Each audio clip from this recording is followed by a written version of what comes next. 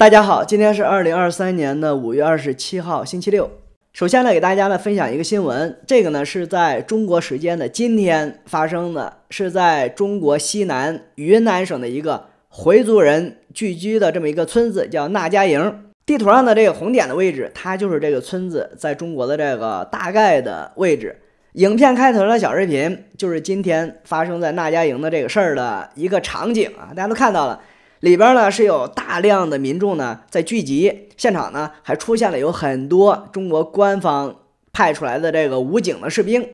狗哥现在呢只是知道这个事儿的大概的情况，可能的情况呢就是中国官方他要拆纳家营当地的一个清真寺，结果呢就遭到了当地民众的强烈反对。刚才说了，云南纳家营这个地儿呢，它主要的这个居民呢都是回族。那他们强烈反对官方拆他们的清真寺，这个呢就是很正常的。遇到反对以后，当地政府呢就调动了大量的这个防暴警察到现场。狗哥呢是看到现场的一些视频还有照片，当时到现场的不仅是这个普通警察里边的防暴队，还有这个武警里边的防暴队。影片开头的小视频里边呢，就是武警的这个防暴的部队，所以呢，在今天云南官方呢，他是调派了很多的暴力警察去这个纳家营拆清真寺。然后呢，他们跟当地的民众呢就发生了一些冲突，最后的结果呢，应该呢是这些暴力警察呢被赶出了清真寺啊。今天这个当地的官方、当地的政府呢，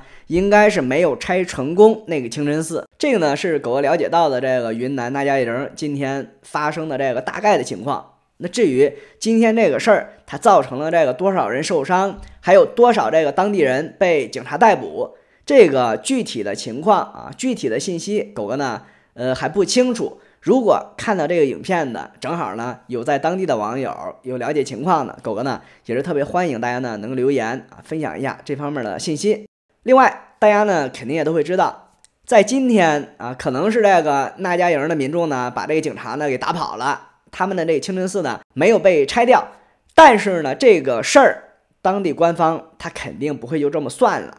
当地官方他肯定不会就这么这个 善罢甘休。他们在这个事儿上肯定呢还会卷土重来，所以呢对这个事儿真的是还有必要去继续关注。那为什么我认为这个事儿很有必要去关注？一个呢，当然是因为这种事儿在中国墙里边呢，它肯定是被全网封杀的。中国官方他绝对不会让中国人知道有这种事儿的发生和存在。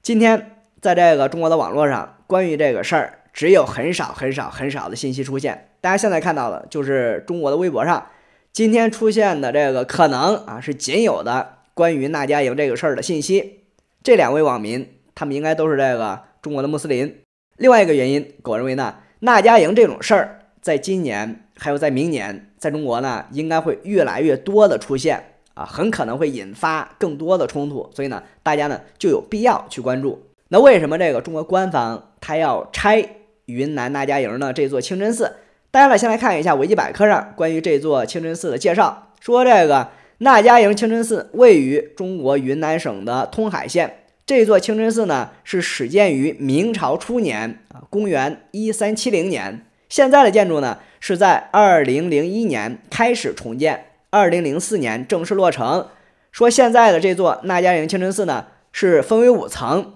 有一个穹顶和四座宣礼塔。二楼的礼拜大殿呢，可以同时容纳三千多人做礼拜。说这座清真寺呢，是云南省目前规模最大的清真寺，还在二零一八年被划为当地县一级的文物保护单位。他这说，这个纳家营清真寺是整个云南省规模最大的清真寺，这个说法呢，应该是比较老。现在云南省规模最大的清真寺呢，应该是在云南的沙甸儿啊，不是这个纳家营的清真寺。云南沙甸儿也是这个回族穆斯林他们聚居的一个地儿，而且呢，沙甸儿这个地儿比那家营要有名的多，因为在中国第一次文化大革命那时候，沙甸儿这个地方的穆斯林民众呢，他们是举行过针对中国政府的大规模武装反抗，当时是被中国官方呢定性为是这个武装叛乱，遭到了中国军队的严厉镇压。那个事儿的起因呢，也是围绕这个清真寺啊，是当地的民众在当时呢要坚持信教，要坚持到清真寺里边呢做礼拜。但是呢，文革那时候呢，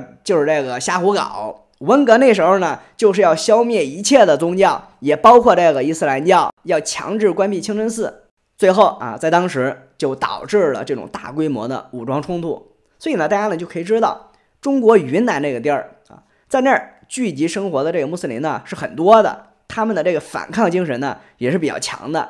那现在中国官方他为什么要拆云南纳家营呢？这座清真寺，结果呢，在今天又引发了冲突。大家呢，先来看一下纳家营这座清真寺，它的一些照片啊，可以看出来，这个清真寺呢，确实它的规模呢是很宏大，而且呢，它有这种很鲜明的中东伊斯兰的建筑风格。我先说一句啊，这座清真寺它建成这个样儿，建成这种中东伊斯兰的风格，这个呢，就是当地政府啊现在要拆掉它的主要的原因。最近几年。中国官方它在中国境内强拆这种啊有这种中东伊斯兰风格建筑的清真寺，这个情况应该呢有网友呢会听说过啊，特别呢是身为穆斯林的网友们肯定呢对这方面呢会知道更多。这个情况呢它不仅是在中国的云南存在，在新疆、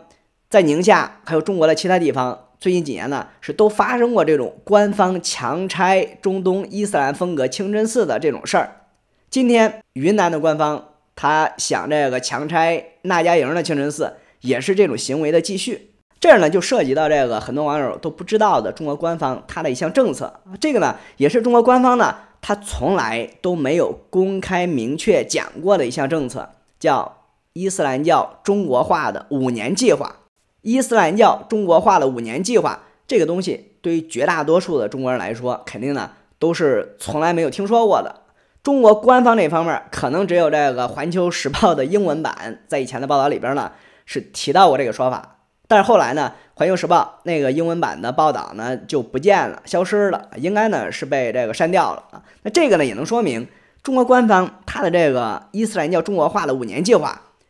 他呢也是不愿意公开去讲的，在这方面他呢是只做不说啊，他呢只是在偷偷摸摸的干，他不愿意公开的去讲。他不愿意去公开的讨论。中国官方他这个秘密的啊，伊斯兰教中国化五年计划是从二零一八年、二零一九年那时候正式开始了。所以呢，大家呢都可以掐指算一下，那到今年二零二三年，或者说呢到明年，是不是正好已经是满五年的时间？那他这个五年计划具体都要干什么？其中一个最重要的事儿啊，一个最重要的表现。就是要大量拆掉中国境内有明显这种中东伊斯兰风格的那些个清真寺，要让这些清真寺的外观呢都回归到这个所谓的中国化。中国官方它的这个五年计划里边呢，肯定还有别的内容，但是呢这几年来他们最高调做的就是大量改建清真寺啊，把这些清真寺的中东伊斯兰的这种建筑风格呢要改回到 所谓的中国风格。这个呢，也是今天云南纳家营清真寺这个事儿的起因。那当地的民众他们坚决反对官方拆建清真寺，这个大家呢肯定也容易理解啊。首先就是这种宗教上的原因，清真寺对于当地的民众啊，对于这些个回族的居民穆斯林来说，肯定呢都是很神圣的，所以呢，他们对官方去强拆清真寺，肯定呢就不能接受。另外，当初这个清真寺这么建的时候。它肯定呢是经过当地官方批准的啊，肯定它是一个合法建筑。那既然你官府啊当初已经批准了可以这么建，但是现在呢又说它不行了啊，必须要拆掉这个改建，那这个从道理上就说不过去，对不对？凭什么你官府就可以朝令夕改？这个呢就是当地民众啊他们强烈反对官府拆清真寺的主要的原因。对这个事儿，我想说，第一。如果这个中国官府啊，他继续强推这个所谓的啊伊斯兰教中国化五年计划的话，那在今年啊，在明年就会引发更多这方面的冲突。刚才说了，按照中国政府的这个五年计划，在今年或者明年呢就要到期了。所以呢，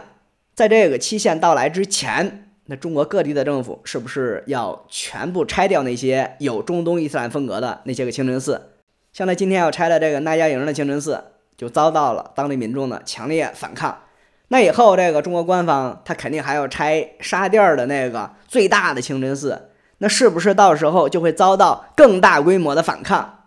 毕竟沙甸儿这个地儿在以前就搞出来过一次很大的事儿。那像这种冲突啊，你再加上现在中国经济严重下滑，有大量年轻人失业啊，回族的年轻人肯定的也是这样。这些因素如果叠加起来，不排除有出大乱子的可能性。这个呢是狗哥要说的第一点。第二点，中国政府他搞的这个所谓的伊斯兰教中国化，狗哥认为呢是搞错了重点。中国穆斯林们他们的清真寺要建成什么样？狗认为呢这个呢不是大问题。这方面，中国政府它应该监管的就是一个，就这些建筑它是不是合法的？它建清真寺的时候是不是经过了政府的合法批准？如果人家是这个合法的建筑，人家没有这个非法侵占土地，人家在改建的过程中呢也没有破坏文物，那人家这个清真寺他愿意建成什么样，这个呢是人家的自由，政府是不应该去干涉这方面的。中国政府它应该去监管什么？狗认为呢有两个，第一个。这些清真寺，他们修建的资金是不是来自国外伊斯兰教的这个极端的教派？然后清真寺的这些个人事安排管理，是不是受到国外这些极端伊斯兰教派的影响和控制？这些，狗认为呢，是中国政府他应该去监管的。狗在这说的这个伊斯兰教的极端教派，主要就是指这个瓦哈比派，这个呢也是中东啊著名国家沙特阿拉伯它的国教。狗认为呢，这个呢是中国政府啊，它应该对中国境内的清真寺进行监管的一个重要的方面。就中国的这些个清真寺们有没有收像沙特这样的外国政府的钱，有没有受到他们的控制？另外一方面，清真寺里边的活动有没有违反法律？狗认为呢，这个呢也是中国政府它应该去监管的。那除了这两方面之外，人家清真寺里边的宗教活动，人家的这个宗教信仰，还有人家清真寺想建成什么样？我认为呢，这些政府呢都是不应该去干涉的。这个呢是关于今天云南大家营清真寺的事儿，还有这个中国官方它秘密的这个伊斯兰教中国化五年计划。狗哥呢就聊这么多啊。其实最近这些年，伊斯兰教在中国的发展啊，中东的这个极端伊斯兰教派，沙特这样的国家在宗教方面对中国的影响啊，这方面话题呢其实呢是很多很多的。狗哥今天呢。只是捡这个最重点的，稍微呢聊一下。以后如果有机会，还可以呢跟大家继续讨论这方面这些个话题。今天要跟大家聊的另外一个大新闻，就是从明天五月二十八号星期天开始，中国自己国产的这个大型民航客机 C 九幺九就会开始正式的商业运营。也就是从明天开始，传说中的这个中国自己的国产大飞机呢。就正式开始接客了，所以呢，现在的问题就在于你敢不敢做这架中国自己国产的大型民航客机？正式开始用这个 C 九幺九进行商业运营的是上海的东方航空公司，在明天星期天，它有这个 C 九幺九的第一个商业航班是从上海飞到帝都北京，然后呢，在后天星期一，东航的这个 C 九幺九呢还要飞上海到四川成都的一个航班。那这两个航班，明天这个从北京到上海的，官方说呢，这是 C 九幺九的第一个商业航班。后天从上海到成都的，官方说呢，这个呢是 C 九幺九的第一个全面开售的商业航班。现在狗哥呢是是有点糊涂啊，不知道他说的第一个商业航班跟第一个全面开售的商业航班，它们之间有什么样的区别？这方面狗哥呢也懒得再去调查了，所以呢。欢迎有了解的网友们留言啊，指点一下这个迷津。中国的这个国产大飞机 C 九幺九，狗哥自己呢是不会去做的。现在有很简单的一个理由，大家呢应该呢都还有印象，在去年的三月份，同样也是上海的这个东方航空公司在广西是发生了一起坠机事件。那场坠机的调查结果到现在已经是过了一年多了。但是呢，到现在都没有一个官方的调查结果出来。中国官方他对这方面信息呢，也是在严厉管制，他不允许新闻媒体呢自己去做这种调查报道。所以呢，在存在这种民航方面不明不白、严厉压制信息的情况下，现在东航他又要第一次飞中国自己的国产大飞机。那对于这种中国他自己生产的新东西，而且呢又是东航的，狗哥呢？是绝对不会去做的。说到这儿呢，狗哥呢是又想到最近香港国泰航空的那个事儿，东航掉飞机跟这个国泰航空上的歧视事件，到底哪个更严重，哪个更值得去关注？大家呢肯定都是明白的啊。所以呢，中国这个从上到下啊，对东航掉飞机那个事儿呢，都是闷不作声。现在呢，是都假装已经忘了。但是呢，对香港国泰航空的事儿呢，都是在义愤填膺，表现的很高调、很正义的不行。我认为呢，这种现象呢，真的是很贱啊！所以呢，你现在花很多的情绪去批斗国泰航空，真的是很没意思啊！真的是相当战狼的一种行为。这个呢，就不多说了。今天啊，中国这个国产大飞机 C 九幺九，在明天和后天的这个商业飞行，大概率它不会出什么意外。狗哥呢也希望他不要出什么意外，但是呢，在以后狗哥呢 还是不会去做啊，除非在以后美国和欧洲的这个航空监管机构，他们都给中国的这个 C 九幺九发了这个适航证，允许他在美国还有欧洲飞了，那狗哥呢才有可能会去做。对中国的 C 九幺九，狗哥呢现在就是这个态度啊。好了，今天呢就聊这么多啊，非常非常感谢大家的观看，咱们下期接着聊，也祝大家呢周末愉快啊，拜拜。